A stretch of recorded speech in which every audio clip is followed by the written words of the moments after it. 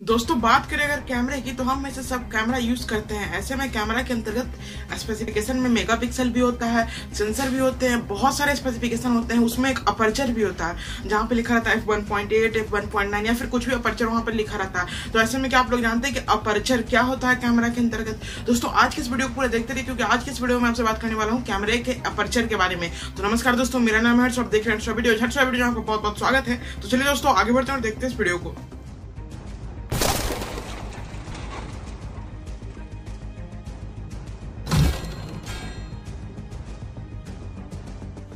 दोस्तों, अगर आप लोगों ने कैमरा यूज़ किया तो वहाँ पे कैमरे के स्पेसिफिकेशन देखा होंगे तो वहाँ पे तो कहीं ना कहीं लिखा ज़रूर होगा कि इसके aperture F one point two है, या फिर एफ़ या फिर एफ़ इतना, या फिर एफ़ ऐसा कुछ लिखा रहता है। लेकिन ऐसे में क्या आप लोग जानते हैं, जो अपर्चर लिखा रहता है one point nine F one या फिर कुछ भी तो ये क्या होता है? दोस्तों, मैं आपको सिंपल वे में समझाना चाहता हूँ कि अपर्चर क्या होता है। एग्ज़ाम्पल के तौर पर आप फोटोग्राफी करना चाहते हैं कैमरे से, अपने कैमरे से तो वहाँ पे आपके फोटोग्राफी में लाइट एक अहम रोल अदा करता है। अगर लाइट खराब है आपके फ़ोटो के अंदर, जहाँ पे फ़ोटो खींच रहे हैं वहाँ पे लाइटिंग कम है तो आपका फ़ोटो ठीक नहीं आएगा। या फिर बहुत ज़्यादा लाइट है तो वहाँ पे भी फ़ोटो ठीक नहीं आएगा। एक बेटर सा लाइट रहना चाहिए मतलब कि फ़ोटो के अंतर्गत एक लाइट अहम रोल अदा करता है। तो इसमें अगर बात करें आपके कैमरे की तो कैमरे के अंतर्गत आपको बहुत सारा स्पेसिफिकेशन देखने को मिलता है, जिसमें आपको सेंसर भी देखने को मिल जाता है शटर स्पीड भी आपको एक फीचर देखने को मिल जाता है, या फिर अपर्चर वहाँ पर देखने को मिल जाता है। तो दोस्तों, अगर बात करें कैमरे की तो यहाँ पे शटर स्पीड आपने सुना, दोस्तों, सबसे पहले बात करते हैं सेंसर को लेकर तो यहाँ पे सेंसर जो होता है सेंसर जो अगर किसी कैमरा में दे दिया गया तो सेंसर तो फिक्स हो जाता है मतलब सेंसर को आप चेंज नहीं कर सकते।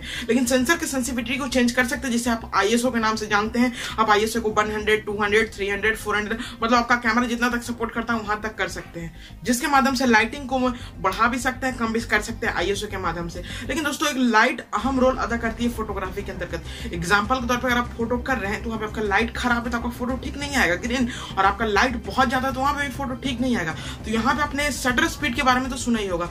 मीन्स अगर आपका कैमरा में वन सेकंड शटर स्पीड है तो उस समय मतलब कि एक सेकंड के लिए आपका कैमरा खुला रहेगा मतलब उसका जो आपका शटर स्पीड शटर एक सेकंड के लिए खुला रहेगा, एक सेकंड के अंदर जितना भी लाइट आएगा, उसके बाद आपका शटर स्पीड ओपन था, वो बंद हो जाएगा। और एक सेकंड के अंदर जितना लाइट आया, उसी के माध्यम से आपका फ़ोटो प्रोड्यूस कर दिया जाएगा। तो ऐसे में दोस्तों, यहीं पर काम में लिया जाता है अपर्चर की। दोस्तों अपर्चर की बात करें तो आपने सुना होगा F one point seven F one point eight दोस्तों सिंपल वे में समझाऊँ आपको तो एफ़ वन पॉइंट एट मतलब कि जितना नीचे आप चले जाइए F one point five F one point two example के तौर पर F one point two aperture F two point two aperture के मुकाबले एक बड़ा अपर्चर है। मतलब कि अपर्चर कैमरा के अंतर्गत होल जैसा होता है। एग्ज़ाम्पल के तौर पर मैं आपसे बात करूँ सपोज़ डेट आपका ये आँख है। तो मान लीजिए आपका आँख आपका आँख जितना खुला रहेगा, आपको अच्छा दिखेगा। मीन्स उधर तक का अच्छा दिख जाएगा लाइटिंग अच्छा आ जाएगा। मीन्स आपका आँख एकदम इतना बंद है तो आपको कुछ खास नहीं दिख पाएगा। वही होता है अपर्चर के अंतर्गत। अगर आपका अपर्चर बड़ा है तो लाइटिंग आप ज़्यादा कैप्चर कर पाइएगा।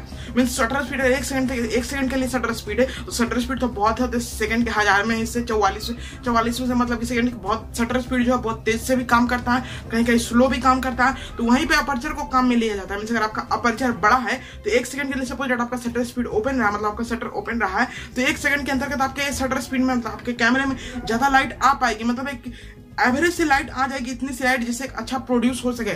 मतलब आपका जो फ़ोटो एक अच्छा से प्रोड्यूस हो सके।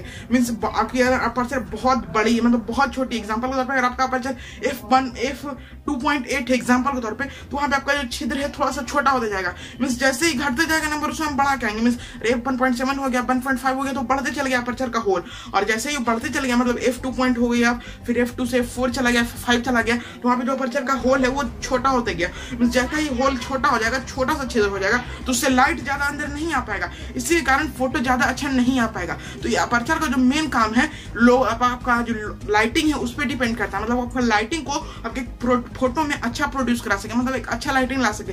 एग्ज़ाम्पल के तौर पर मैं आपसे बात करूँ दो कैमरा का कंपेरिजन कर रहे हैं तो सारा स्पेसिफिकेशन सेम सा वही सेंसर है, उतने मेगा का मतलब सब चीज़ है। लेकिन आपको वहाँ अपर्चर में अंतर देखने को मिल जाती है। मीन सपोर्टेड मेरे पास एक स्मार्टफ़ोन है इसमें मैंने एग्ज़ाम्पल के तौर पर मैं एक स्मार्टफ़ोन को रखे हूँ। इस सर भी एक स्मार्टफ़ोन को रखा हूँ। तो दोनों स्मार्टफ़ोन में सारा सेम सा कैमरा के अंदर स्पेसिफिकेशन है, लेकिन इसका जो अपर्चर एफ़ पॉइंट एट का है और इसका जो अपर्चर है एफ़ टू का है। तो मैं आपको बता दूँ, इसका जो अपर्चर है थोड़ा कम है मतलब थोड़ा ज़्यादा एफ़ वन है तो थोड़ा ज़्यादा है। तो इसलिए आपको ये जो लो लाइट है मतलब लाइटिंग कम है तो उस समय ये बेटर परफॉर्म करेगा मतलब इसके अंदर ज़्यादा लाइट रहेगा ब्राइट फ़ोटो आएगा कंपेयर टू इसका क्योंकि जो अपर्चर है छोटा है मीन्स कैमरा का जो होल है, छोटा है। लेकिन ऐसे में आपको बता दो दोस्तों कैमरा में अपर्चर ही एक बड़ा चीज़ नहीं होता है। मीन्स अपर्चर के कारण फ़ोटो अच्छा है खराब नहीं हो सकता है। अपर्चर को मेन है लाइट में रोल अदा करता है। एग्ज़ाम्पल के तौर पर कैमरा में बहुत सारी चीज़ होती है जिसके अंतर्गत फ़ोटो डिपेंड करता है। मतलब कैमरा अच्छा होता है, जैसे कि सेंसर भी हो जाते हैं अपर्चर भी होता है मेगा भी होता है सेंसर साइज़ बहुत सारे ऐसे चीज़ होते हैं। और मैं आपको एग्ज़ाम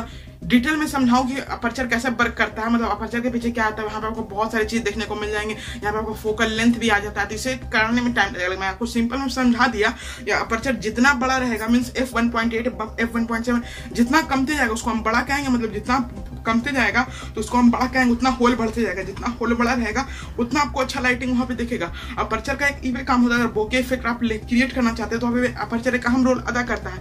मीन्स अपर्चर एक अहम रोल इस प्रकार से अदा करता है। सपोज़ जैसे मैंने आपको एग्ज़ाम्पल दिया था सपोज़ आपका आँख है, अगर आपका आँख ज़्यादा खुला रहेगा मीन आपका आँख का पर्चर इतना बड़ा है सपोज़ अगर आपका आँख इतना ज़्यादा खुला रहेगा तो आप सामने को ज़्यादा देख सकते हैं मतलब आपको अच्छा खासा लाइटिंग देखने को मिल जाएगा। सामने क्या हो रहा आप अच्छा से देख पाएँगे। और आपका आँख इतना सा खुला हुआ है तो आप सामने को नहीं देख पाएँगे। इसलिए वहाँ पर डेप्थ सेंसिंग में किया जाता है, यानी बोके इफ़ेक्ट को बात करना हो, वहाँ पे अच्छा से अगर सेंस कर लिया जाएगा डेप्थ को तो ऑब्जेक्ट को फोकस करते हुए पीछे जो डेप्थ है, उसको बैकग्राउंड जो है, उसको ब्लर कर दिया जाएगा। तो कहीं ना कहीं डेप्थ सेंसिंग में भी अपर्चर एक अहम रोल अदा करता है। और मैं आपसे बात करूँ, अगर आप कंपेरिजन करना चाहते हैं डीएसएलआर से अपने स्मार्टफ़ोन को मीन आपका जो डीएसएलआर है, वहाँ पे आपको अपर्चर थोड़ा ज़्यादा देखने को मिलता है टू पॉइंट कुछ एग्ज़ाम्पल के तौर पर और आपका जो कैमरा है आपको एफ़ वन पॉइंट फाइव का अपर्चर देखने को मिल रहा है। तो ज़रूरी नहीं है कि जो आपका जो कैमरा है, उसमें एफ़ वन पॉइंट फाइव का, यानी बड़ा अपर्चर देखने को मिल रहा है तो आपका कैमरा आपके मोबाइल फ़ोन का कैमरा बेटर परफॉर्म करे डीएसएलआर के मुकाबले। क्योंकि दोस्तों डीएसएलआर में आपको थोड़ा लेंस अलग देखने को मिलता है। वहाँ पे जो लेंस है, वहाँ पे जो आपका अपर्चर एफ़ की ज़रूर है, लेकिन वहाँ पे जो लेंस है, उस लेंस के मुकाबले आपका कैमरा का जो क्षेत्र है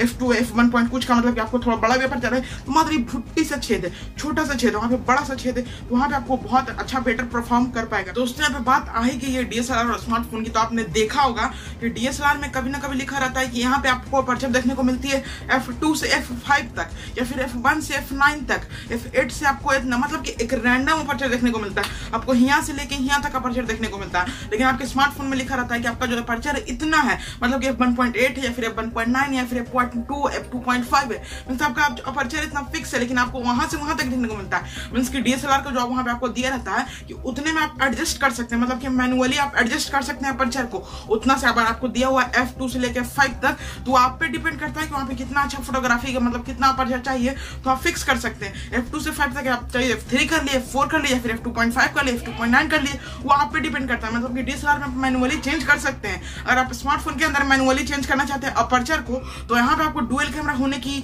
ज़रूरी है मतलब डुअल कैमरा होता तो आप कर पाते एग्ज़ाम्पल तौर पर आप ऑनर सिक्स को ले लीजिए या फिर किसी पर किसी और स्मार्टफ़ोन को ले लिए जहाँ पे आपको डुअल कैमरा देखने को मिलता है जब सेंसिंग के लिए तो उसके बाद आप जो बोके इफ़ेक्ट क्रिएट करते हैं तो वहाँ पे बाद में को अपर्चर अच्छा दूर तक बढ़ा सकते हैं, कम कर सकते हैं। आर्टिफिशियल बोके आर्टिफिशियल जो वहाँ पे आपको अपर्चर है उसको आर्टिफिशियल आप बढ़ा सकते हैं, कम कर सकते हैं। लेकिन डीएसएलआर और स्मार्टफ़ोन में बहुत अंतर है। ये आप कभी नहीं कर सकते हैं। अगर आपका एफ़ वन पॉइंट सिक्स का, आपको डीएसएलआर में आपका एफ़ वन पॉइंट सिक्स आपका स्मार्टफ़ोन में अपर्चर देखने को मिल रहा है और आपका डीएसएलआर में एफ़ टू पॉइंट ज़ीरो का तो आप कभी नहीं कर सकते हैं कि आपका स्मार्टफ़ोन का जो कैमरा है बेटर होगा डीएसएलआर से। हो भी सकता है। ज़रूरी नहीं है कि बेटर नहीं होगा। हो भी सकता है। क्योंकि मैंने आपको पहले ही बताया, एक अपर्चर ही एक अहम चीज़ नहीं है। कैमरा के अंदर रहते फिर मेगा पिक्सल भी एक अहम चीज़ नहीं है। बहुत चीज़ को देखा जाता है, तब कैमरा अच्छा होता है। एग्ज़ाम्पल तौर पर सबसे बड़ा चीज़ यहाँ पे इमेज प्रोसेसिंग होता है। और इमेज प्रोसेसिंग अच्छा है तो आपका कैमरा का स्पेसिफिकेशन कितना भी अच्छा रहे और आपका इमेज प्रोसेसिंग अच्छा और आपका कैमरा का स्पेसिफिकेशन कितना भी खराब रहे तो इमेज प्रोसेसिंग अच्छा तो आपको अच्छा इमेज प्रोवाइड किया जाएगा। और आपका स्पेसिफिकेशन कितना भी अच्छा है इमेज प्रोसेसिंग खराब रहेगा तो आपका कैमरा से आने वाला इमेज मतलब कैमरा के द्वारा जो प्रोड्यूस किया गया इमेज वो ठीक नहीं रहेगा। तो दोस्तों, यही होता है अपर्चर। उम्मीद करता हूँ आपको समझ में आ गया होगा कि कैमरे के अंतर्गत जो अपर्चर दिया रहता है वो क्या होता है और ये किस लिए वर्क किया जाता है। इसी प्रकार का वीडियो देखने के लिए प्लीज़ सब्सक्राइब करें मेरे चैनल को। इस वीडियो में इतना दोस्तों, मिलता है आपसे नए वीडियो में। तब तक के लिए जय हिंद बंदे मातरम।